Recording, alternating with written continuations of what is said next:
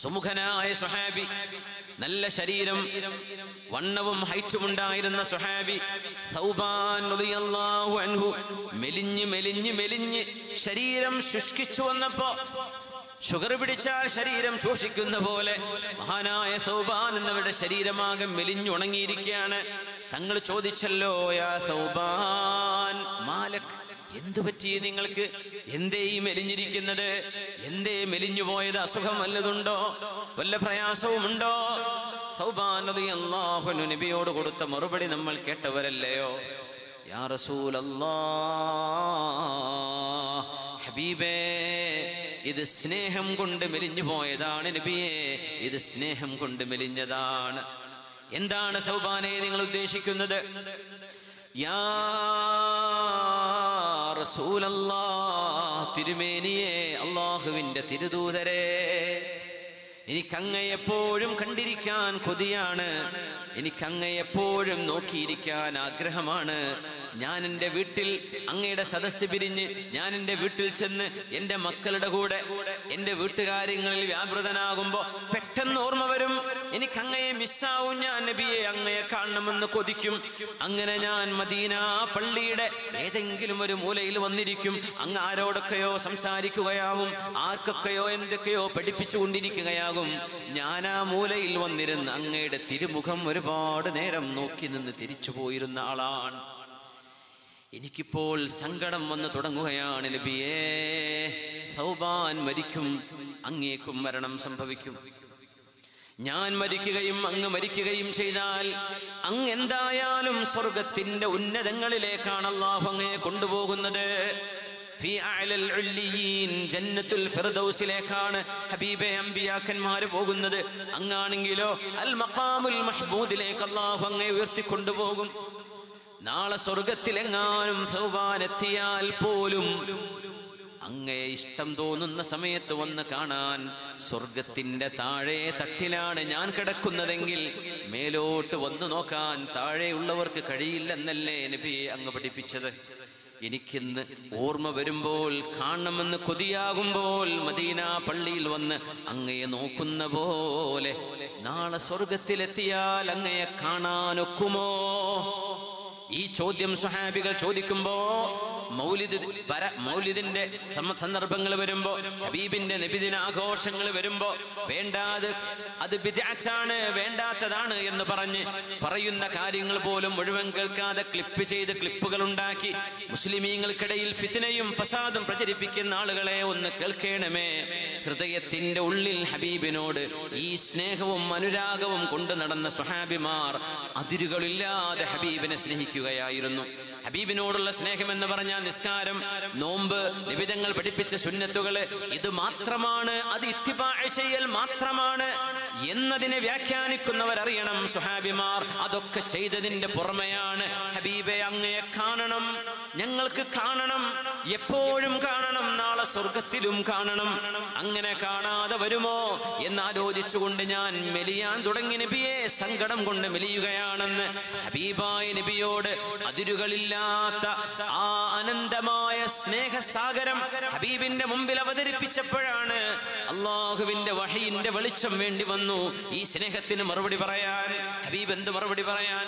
സല്ലല്ലാഹു അലൈഹി വസല്ലം അമീനു അലൈഹിസ്സലാം.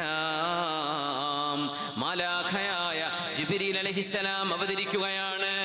ഓതിക്കൊടുക്കു നബിയേ നാളെ സ്വർഗലോകത്ത് വരുമ്പോ അങ്ങയെ വന്ന് കാണാൻ എനിക്കാവുമോ എന്ന് പേടിച്ച് നാളെ സ്വർഗത്തിൽ ഞാൻ താഴെയും അങ്ങ് മീതയുമാകുമ്പോ അങ്ങ് എങ്ങനെയാണ് ഞാൻ വന്ന് കാണുക എന്ന് ചിന്തിക്കുന്ന അങ്ങയുടെ സ്വഹാബിയായ സൗബാൻ എന്നവരോടും അങ്ങയെ കാണാൻ കൊതിക്കുന്ന ലക്ഷക്കണക്കിന് മുസ്ലിമീങ്ങളോടും മുഹിബീങ്ങളോടും പറയണേ അള്ളാഹുവിനെയും അവന്റെ റസൂലിനെയും അനുസരിച്ച് ജീവിക്കുന്ന മുത്തഖീങ്ങളായ ആളുകൾ താഴെയല്ല അവര് പ്രവാചകന്മാരുടെ കൂടെയാണ് ബിസ്മില്ലാഹിർ റഹ്മാനിർ റഹീം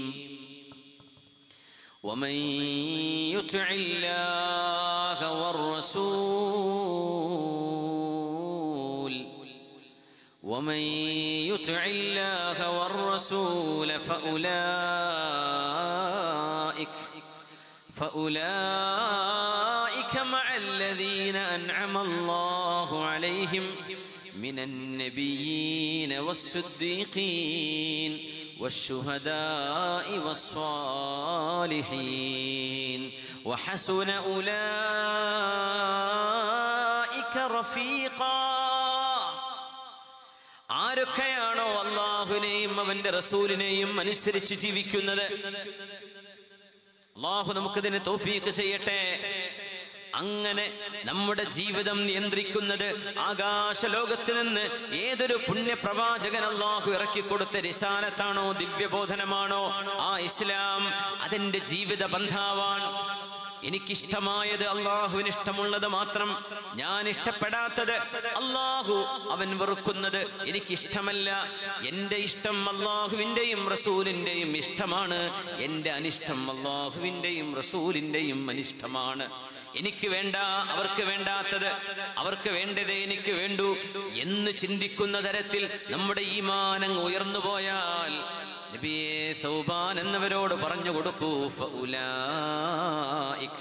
അത്തരം ആളുകൾ അള്ളാഹു അനുഗ്രഹം ചെയ്തു കൊടുത്തവരുടെ കൂടെയാണ്. ആരൊക്കെയാണവർ? അള്ളാഹുവിന്റെ പ്രവാചകന്മാർ. സച്ചരിതരായ ആളുകൾ. അള്ളാഹുവിന് വേണ്ടി ജീവത്യാഗം ചെയ്തവർ സജ്ജനങ്ങളും സദ്വൃത്തരുമായ ആളുകൾ.